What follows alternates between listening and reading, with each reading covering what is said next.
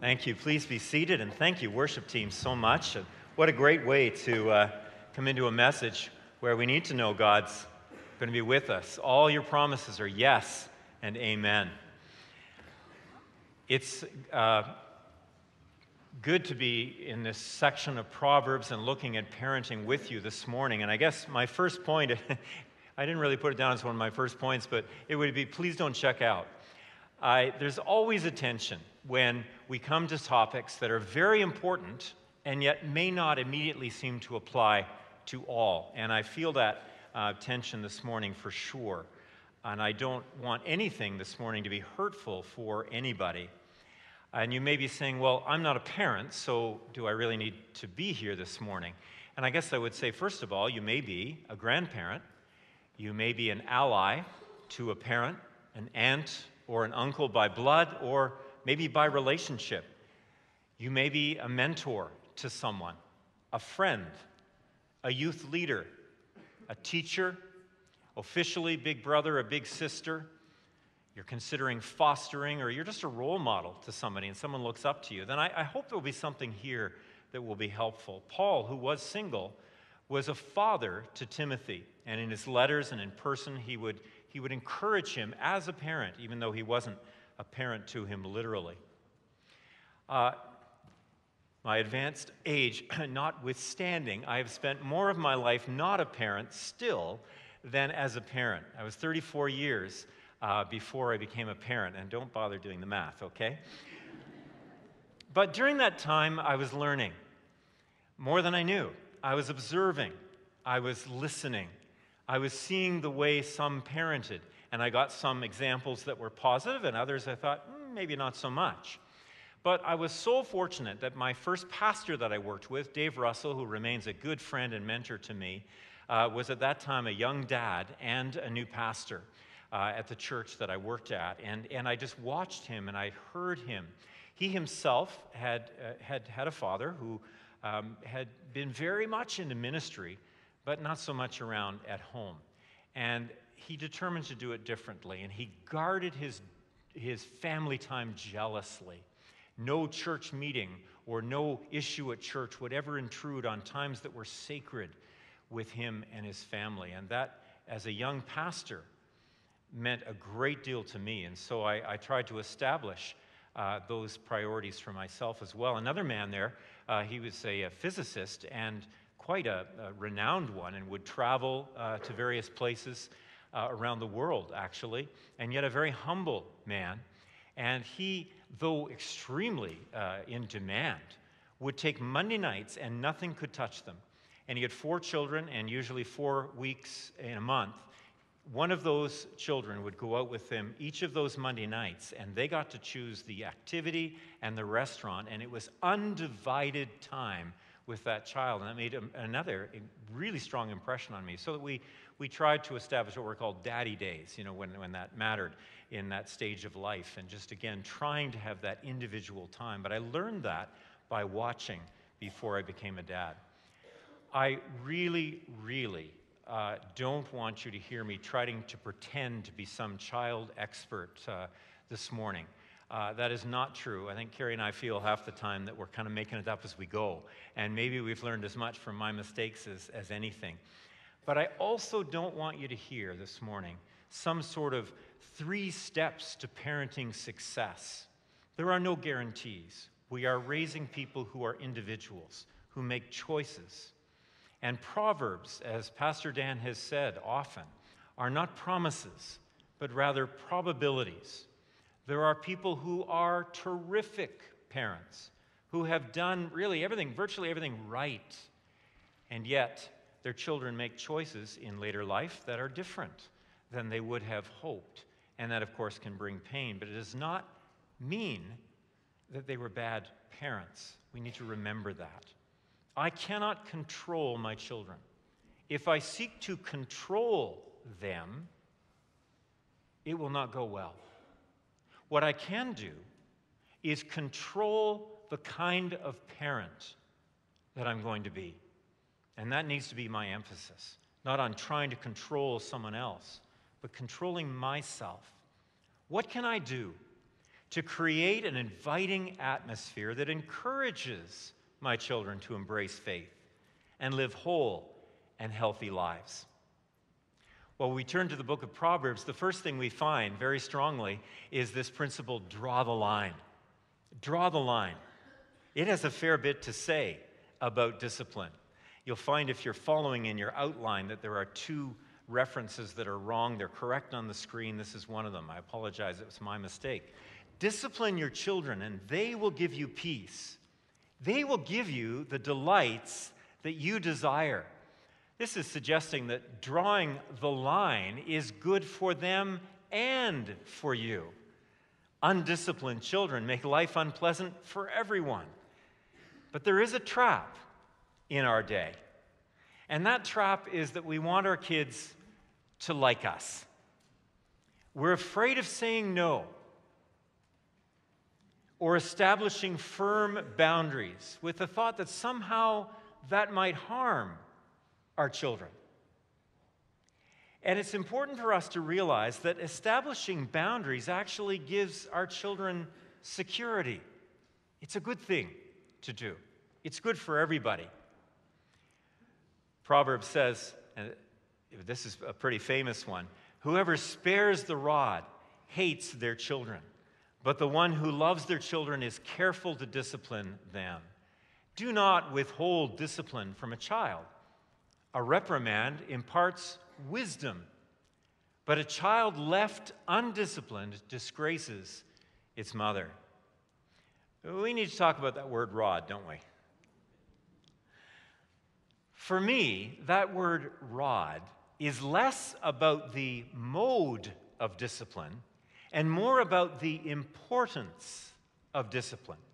There is definitely a debate right now about the merits or not of corporal punishment. I don't intend to enter that debate particularly this morning, except to say, full disclosure, that we did employ mild corporal punishment as one of the tools in our toolbox up to about ages two to three. And I would say, in our experience, it can be effective with careful limits. If there's an issue of danger, a hand reaching for the stove that's hot, it's not a time to suggest various consequences that might happen. It's a time for swift action and something that will immediately suggest never do that again because it could be very harmful. It may be that for willful disobedience, with clear warnings and clear expectations, that corporal punishment may be effective.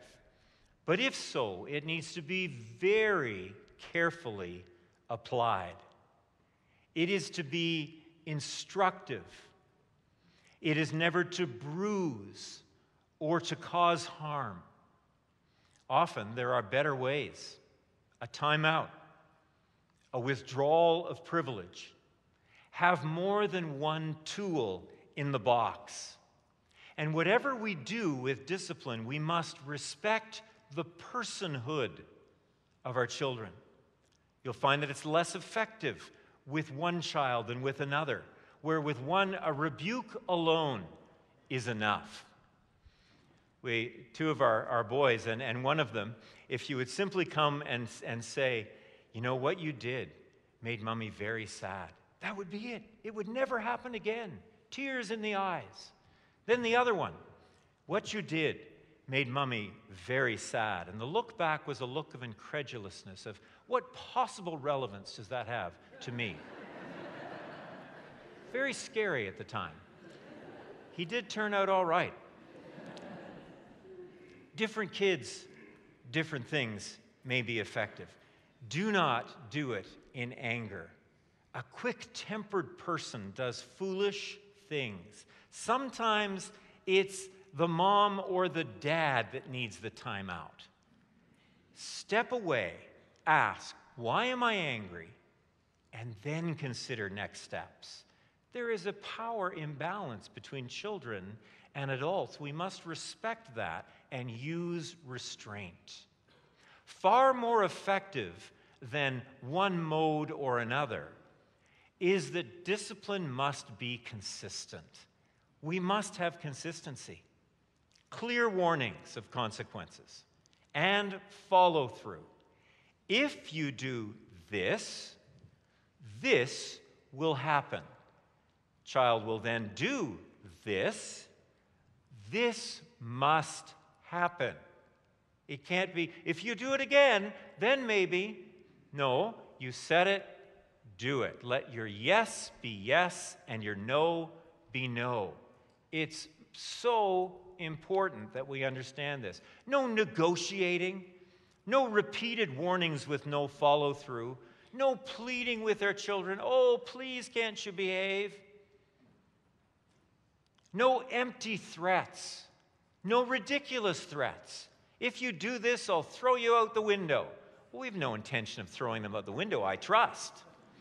Don't say it if we don't mean it. They're, they're not dumb, they figure us out pretty quick. Do we mean it or not?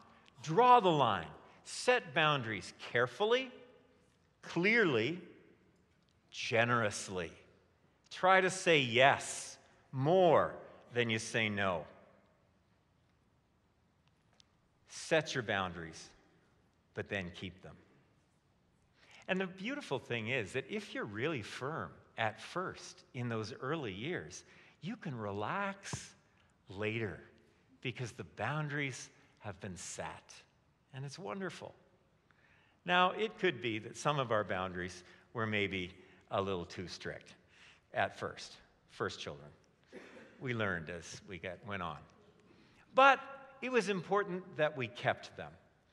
My son seemed to hear me in more absolute terms than we intended. He came home from a week of camp and he still had his tuck money with him. Why didn't you spend your money at camp? Well, um, I thought I wasn't allowed to drink Coke. We had never said that.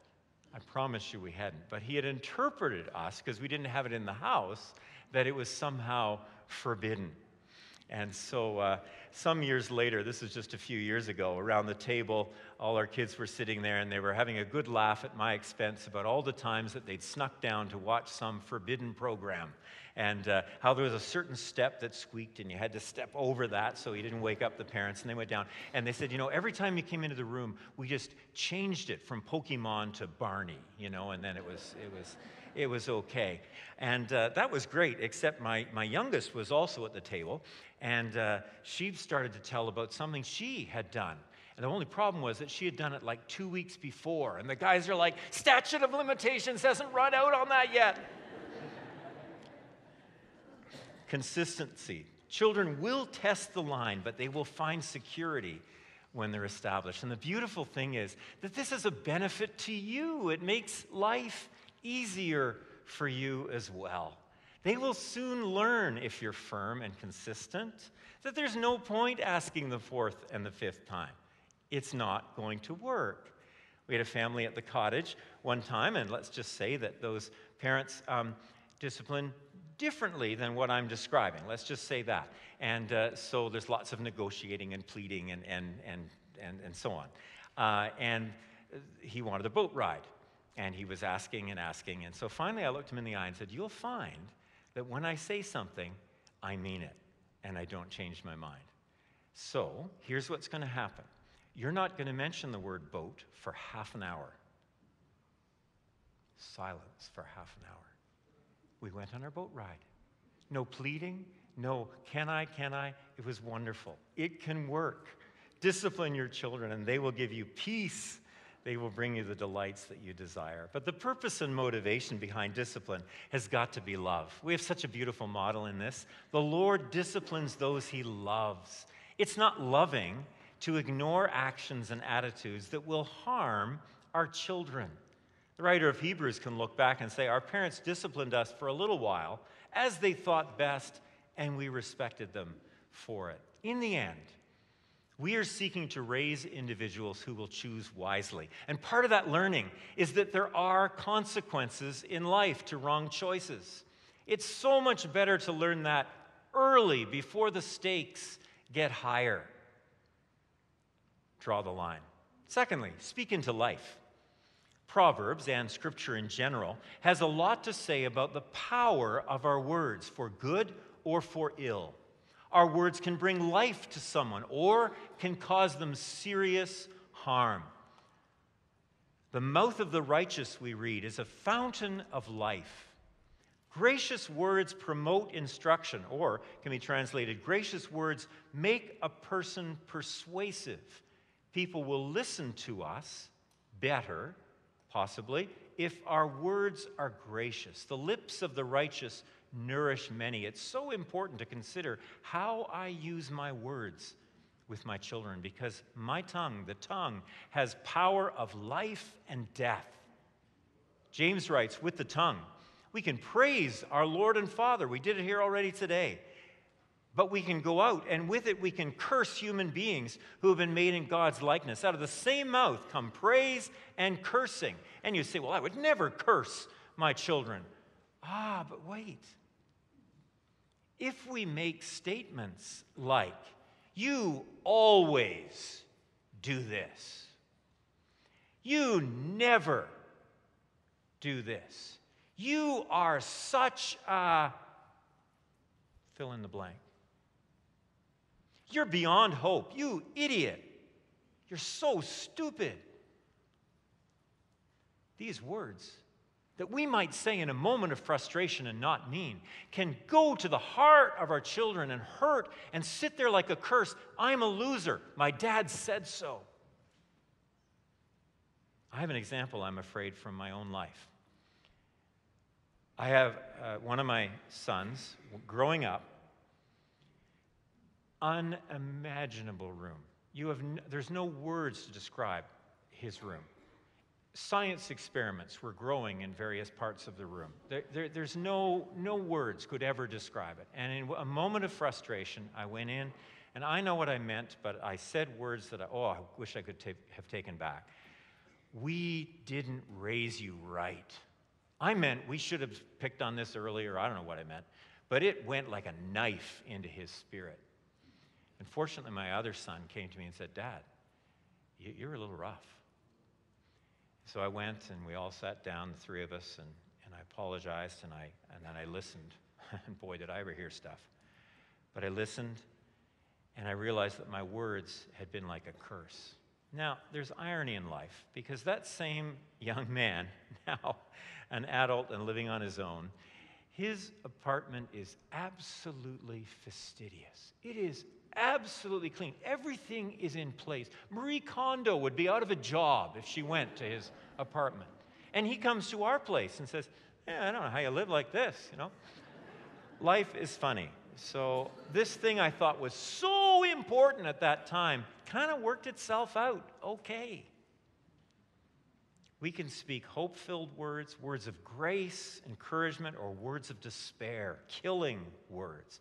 And our children are listening to us. When we talk about other people, when we have discussions at the table or in the car and we're talking about people we disagree with, maybe over politics, or maybe we make remarks about people of the other gender, or people whose sexuality is different, uh, or whose race is different. Little ears are listening.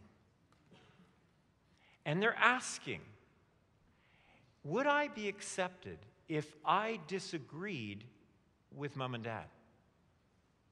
What if they later meet these people we talk about in generalities and find them, in fact, to be wonderful, kind, and intelligent? What will they make of our judgments? Try to steer towards peace and reconciliation. Don't continue to nag about something and bring up past mistakes and arguments. Solomon writes starting a quarrel is like breaching a dam. So drop the matter before a dispute breaks out. We're not there to stir up trouble. If I find myself angry, I need to ask is there some goal I had that is being blocked? And if so, I maybe need to deal with this. I don't need to be right. I maybe need to come and apologize for my attitude. A gentle answer turns away wrath, and a harsh word stirs up anger. James writes, We all stumble in many ways, Anyone who's never at fault in what they say is perfect, able to keep their whole body in check. Anybody?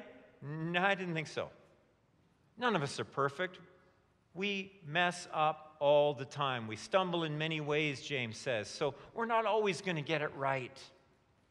We just got to be ready with the sorry. We got to be ready and acknowledge what we did. We're not perfect.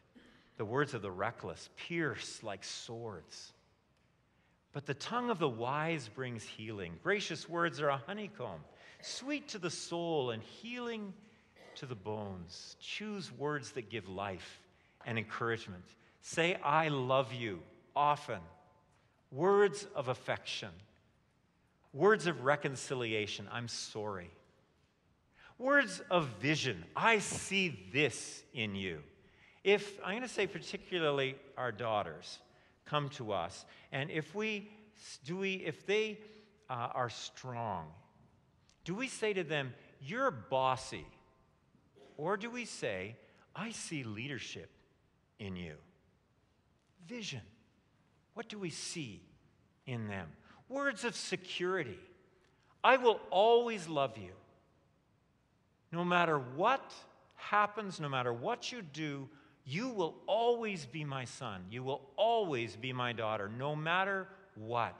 We're creating an environment where it is safe for them to come and talk to us, no matter what.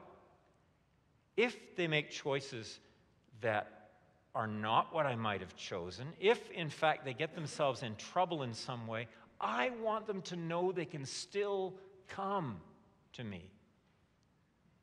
I want them to know that. And so I said early on, before it was even at that stage of life, if you find yourself at a party, maybe there's been alcohol, maybe there's been things happening there and you're uncomfortable, maybe you've even uh, taken part in it, you can call me anytime on the phone. I will come, I will pick you up, no questions asked. I want them to know that, that it's a safe place to talk. Keep the conversation going. It's so important. If I trust my children, they'll rise up to it. If I tell them they're failures, they'll basically lose heart and say, Why bother? We can't please him. We need to model supportive speech, supportive speech towards our partner. If we're married and we're co parenting, we need to support the other parent. That's, that's so important because kids will see cracks in that in a minute, right? If, if mom says no, ask dad. Um, and uh, it, we, we can't do that. You know, we've got to be on the same page together. Now, is this always easy? No. And I say, like, if you are a single parent, I mean, you deserve a medal. That is hard, hard job. And if you're separated or divorced and you have kids together, that's hard. I have seen, I have friends that are in that situation, and they co parent together very well, even though in their relationship they are apart. But it's tough. You need to see Paul's words there wherever possible, inasmuch as depends on you, live at peace with everyone. Keep the conversation going. I may not like everything I hear from my kids, but I want to hear it. Now, nothing will stop them from talking to me quicker than if I start to do commentary on everything they say. Oh, that's not very nice. Oh, that wasn't very good. Oh, that person's not very. You know the conversation will not go on much longer. I need to just listen. I may not like it, but I need to listen. Occasionally, they may ask, and I may have an opportunity to say some things. Keep the conversation going. Do I create a climate where someone wants to share? Listen. There's a concept in the Bible which we don't necessarily have big in our culture, and that's the concept of blessing, of intentional blessing.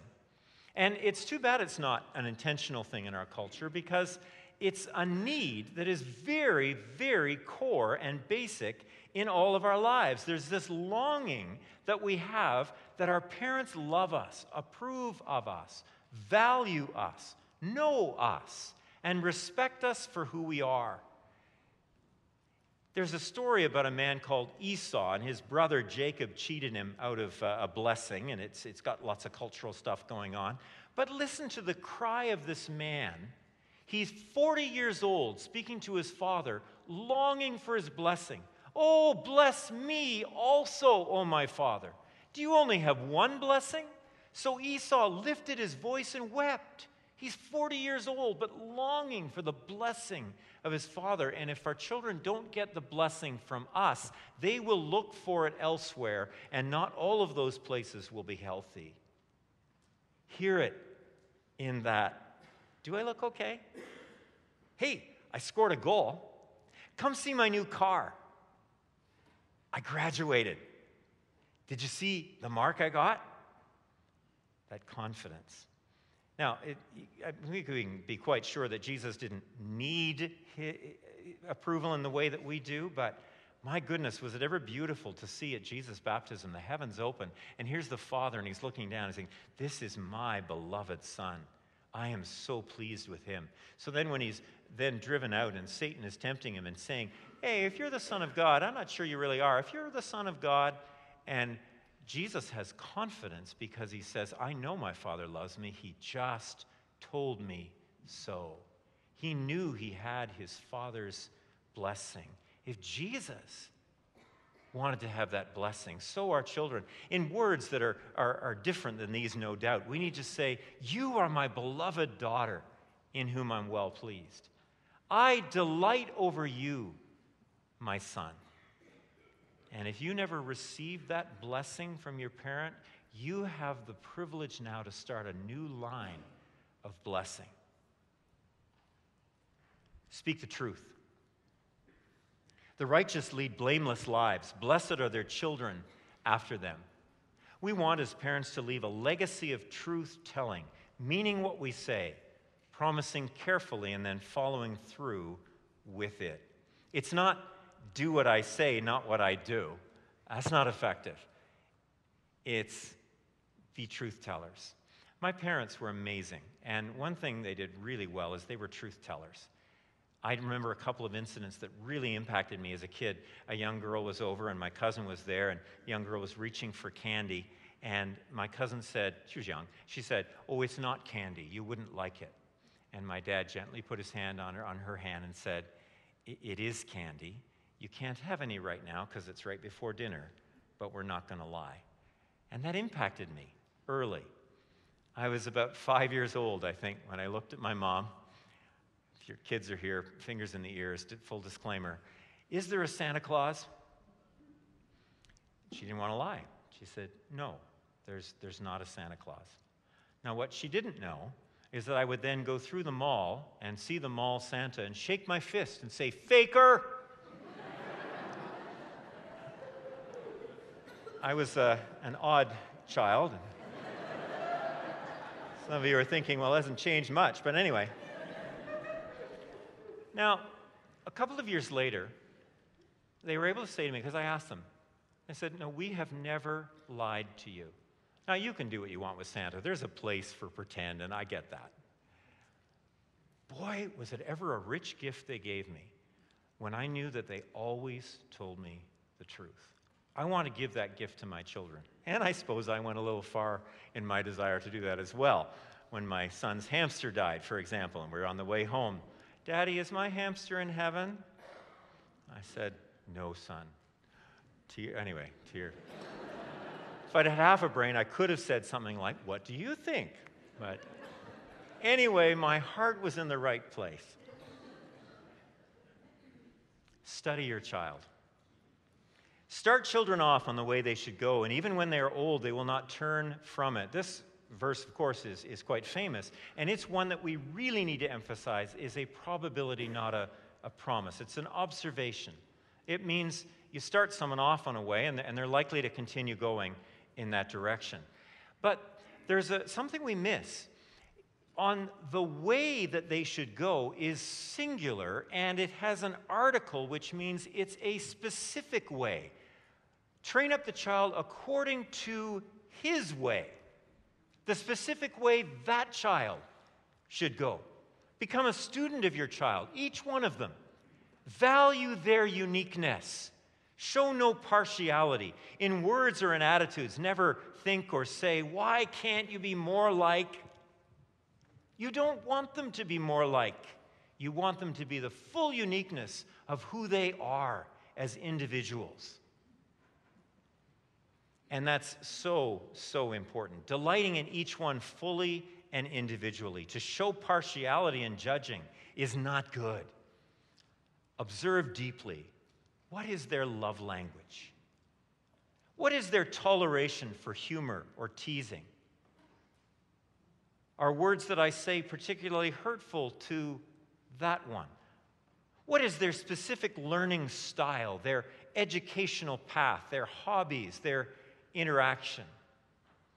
The hobbies that you love, the things that were so important to you, may not be the thing that they really get excited about, and that's got to be okay.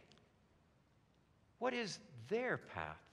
We may naturally, more naturally, understand one of our children more than another.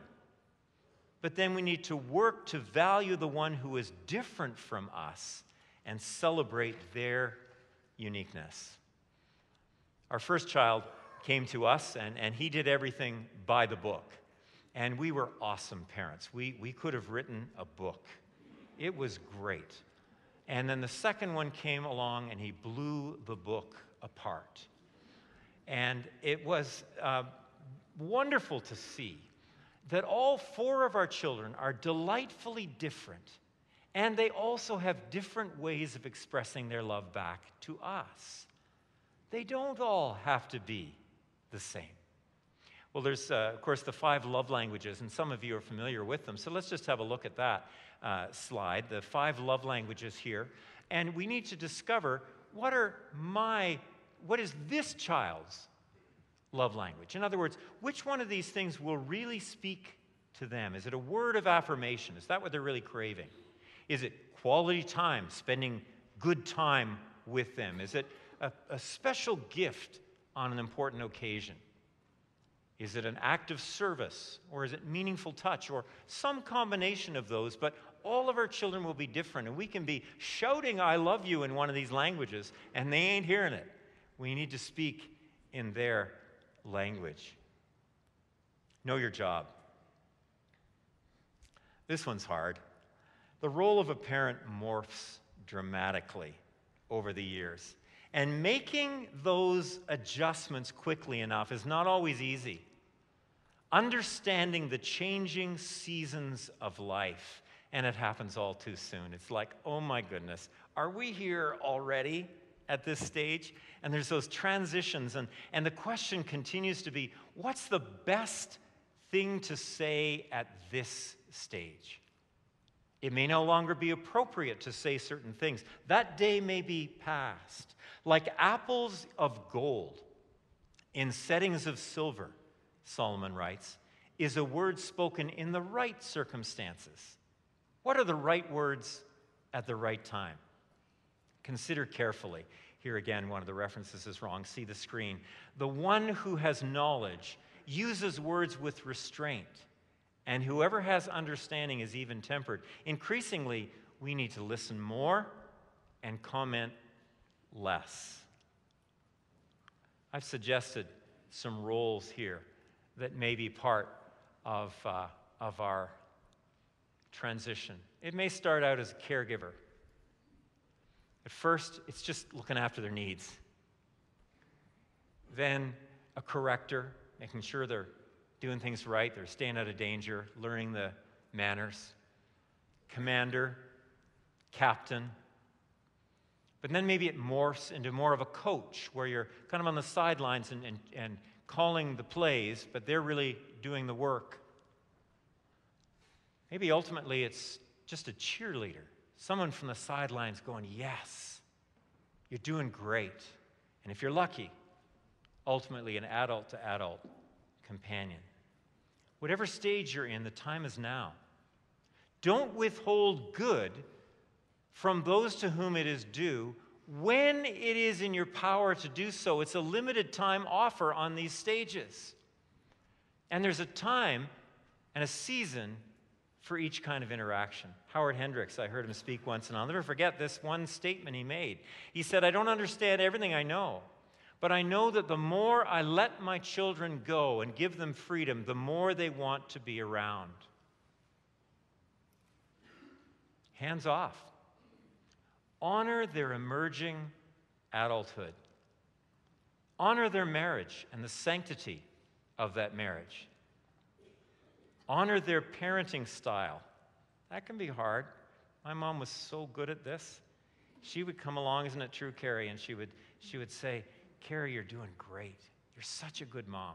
And it was so helpful to us at that point. Be in their corner. It's no longer time for unsolicited advice. Play the long game. A good person leaves an inheritance for their children's children. You're thinking, if you got young kids, I'm just trying to get through today. Don't talk about children's children. But this is the long view here. Start children off on the way they should go, and even when they're old, they won't turn from it. Start early and then see to the far horizon. Good habits persist. The long game. Early actions matter for better or for worse. But over the course of time, we may let, have to let them make some mistakes and not sweat the small stuff. We don't have to solve everything right in that moment. We're playing the long game. And sometimes we have to kind of watch and say our piece, but then back off a little bit. Pick our battles. Keep the no list short. Keep listening and try not to erect walls. I want to say to you, please avoid ultimatums. I know someone who said to his daughter, No daughter of mine will ever have a tattoo and live in my house. You know what she did the next day, don't you? She got a tattoo, and she's now living in her boyfriend's house. Not a win, Dad. Avoid ultimatums recently had a conversation with uh, uh, a couple of my, my, adult children, and it was on a controversial subject, and, and they had a different view than I had on that controversial subject. Now, we had a great discussion, but I'm not coming to that as sort of dad with the truth. Listen, son. But rather, I'm doing the listening. I'm learning their perspective and maybe also giving my in- input into the conversation. Discussion, not argument. It's not worth it. Keep the relationship. Play the long game. Down the generations. Start a new line of blessing. It's true and sobering that the consequences of my sin can reverberate down three or four generations, but it's also true that God remembers his covenant not to three or four, but to a thousand generations of those who love him. God is playing the long game with us. As a parent, I cannot be needy. I cannot need my children's approval. My children cannot fill my needs. They cannot heal a marriage. They cannot complete me. Their achievements can't somehow fulfill my dreams or some goal of mine. They are their dreams, not mine. Win the heart. My child, give me your heart and let your eyes delight in my ways. I love this. It's not so much that we say this literally to our children, but it certainly is the goal of our parenting. The Old Testament ends with this hope that one would come who would turn the hearts of the children to the fathers and the hearts of the fathers to the children. And our hope is that somehow that our children would see our way of life, our values and say, that looks like a good way to live that we make faith and goodness attractive. And there are, of course, ways that we can effectively lose the hearts of our kids. Number one is by being unreasonable. Fathers, do not embitter or exasperate your children, Paul writes, or they will become discouraged. Watch for it. Causing them to lose heart, to give up, to conclude it's impossible to please you.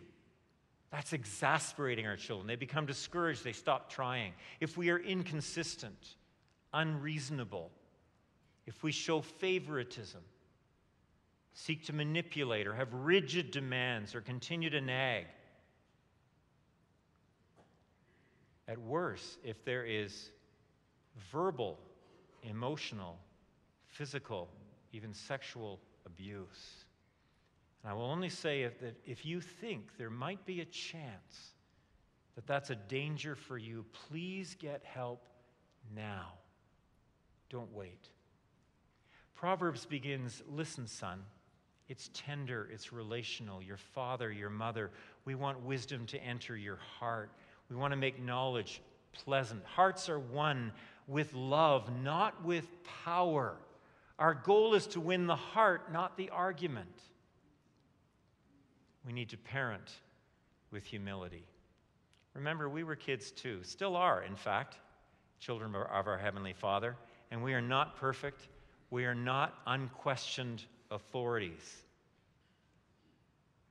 Solomon remembers, I too was a son to my father, still tender and cherished by my mother.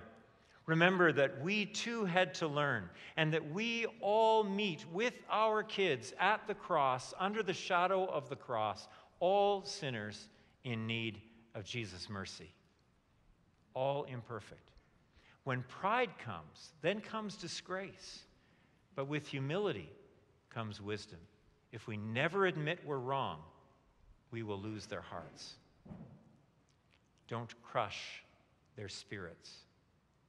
Hope deferred makes the heart sick, but a longing fulfilled is a tree of life. We need to hear the heart cry of our kids, their dreams, their goals. If we continually put them off, we'll do that another day, maybe next year. If we don't take them seriously, assuming we know better, we can make their hearts sick with empty promises and false hopes and dreams not listened to. The human spirit can endure sickness, but a crushed spirit, who can bear? This is why it's so critical to sense when we have grieved our children and hurt them and embittered them and crushed their spirits and be quick to seek forgiveness. Forgiveness, the language of family. Everyone needs to speak it. Jesus to Peter, not seven times, but 70 times seven, 490 times a day, without enabling our kids, without rescuing them from all consequence, but ready to forgive. Be kind one to another, tender hearted, forgiving one another, even as God, for Christ's sake, has forgiven you. If I could paraphrase Paul's advice to Timothy, his son in the faith, he said, The Lord's servant or, or dad, mom, should not be quarrelsome, but be kind to her children, able to teach, patient when wronged, with gentleness correcting them when they mess up. Life giving parenting. Our children are on loan to us, we do not own them. Give me your heart, my child. Let your eyes delight in my ways. The heart is what we are seeking to win. We want our children to discover their own faith, to see our lives and find our way of life attractive. And with loving persuasion, invite them to faith. Unconditional love. Relationship into adulthood without condition. You will always be my child. And finally, living in hope. It's so easy to read all these things do this, do this, do this, and just get this heaviness. And that's the last thing I want to say. I want to say, rather, that we're not in this alone. We can parent in hope. We have a God who is with us.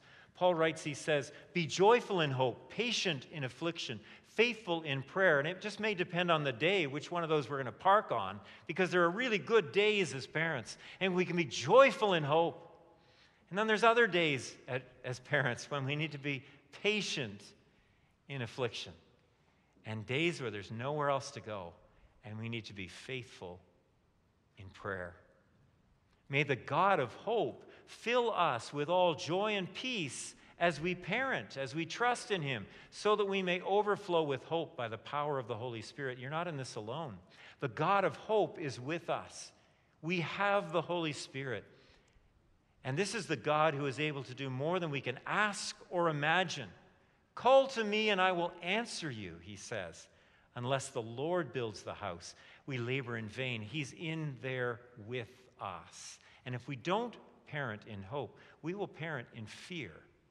And fear based parenting will cause us to bubble wrap our kids spiritually, become suspicious and reactive, and that's not healthy. God, the great parent, knows our pain. The pain of a parent can be acute. God knows. He has had some billions of imperfect, rebellious kids, and He knows our pain. He is our perfect model. He loves unconditionally and He gives grace.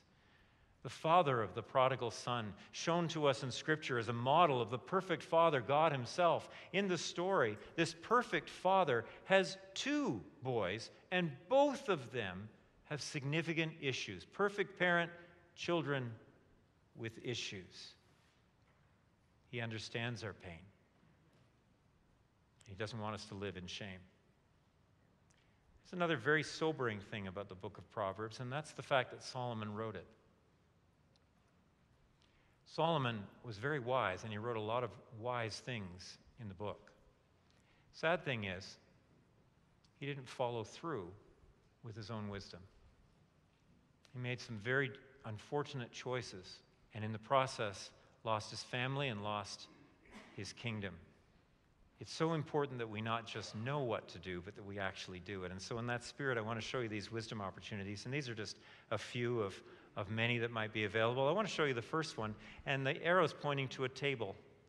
The best thing you can do is have a family table, have a family meal. It's hard. Music lessons, sports events, there's just everything's pulling it away. Phones. Have a family table. Have a time established when you all come together and you look each other in the eye. We are family. Disconnect so that you can connect. And we need to disconnect too. Be there at that family table. The other, there's, there's some good books out there. These are just a few. Love Languages for Your Children. There's one for teens. Grace Based Parenting. I'd had three boys and thought, I don't know anything about girls. I got the book. Um, she calls me daddy, and I found that really helpful. There are other uh, things out there. But you know, it could be that you just come alongside another couple. Maybe they're a couple more years down the road and, and, and just sort of, hey, can we learn from you? Like, what were some of the good things you did? What were the, some of the mistakes you, you, you wouldn't do that again? And, and learn from, from other couples. Counseling. We think of going to the dentist and we go for a checkup. But if you don't go for a checkup and you just go for the root canal, like that's, that's wait until it's really serious. But counseling doesn't have to be that. Counseling doesn't have to be when there's a root canal, a really big problem. It can be, you know what, we can maybe freshen this up a bit. Maybe there's some strategies we could learn. And that would be a great thing to do. Finally, I'm going to ask Sherry Burgess to come, and she's going to pray for families. Sherry, I just really appreciate that you're doing this. And uh, she's going to come and just pray for parents this morning. And because we're not in this alone, and we want God to help us. So let's pray together. Dear Heavenly Father, is it on? Um, I thank you for this church where um, your word is taught and your name is proclaimed. I thank you for Pastor Gordon and Pastor Dan who have a heart to see families and marriages strong and healthy and thriving. I thank you for your word that has so many wise principles and um, advice to help us in, in raising our families well. And Father, mostly I thank you for Holy Spirit who is always with us, that we can turn to for wisdom and guidance and following your ways, for timely words. Father, remind us to pray for our children and, and for us as parents in raising our children.